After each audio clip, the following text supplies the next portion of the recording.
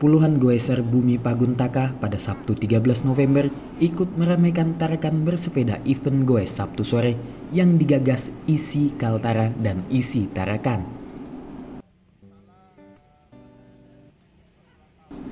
Ketua Ikatan Sport Sepeda Indonesia atau ISI Kaltara Syamsul Banri mengatakan, kegiatan goes Sabtu sore sebelumnya merupakan kegiatan rutin yang dilaksanakan setiap Sabtu.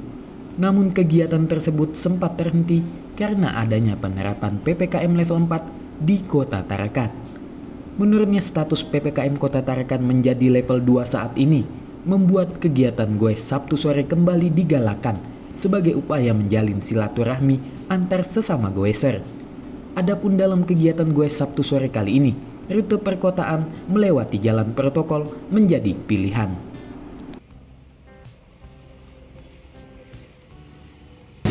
Karena lama vakum ya kita ajak semua teman-teman uh, komunitas sepeda untuk kita memulai lagi nih karena kita sudah turun level.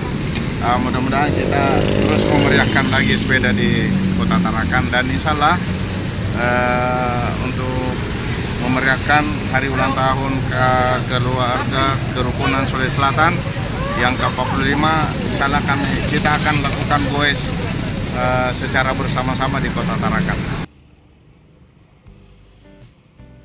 Jan melaporkan.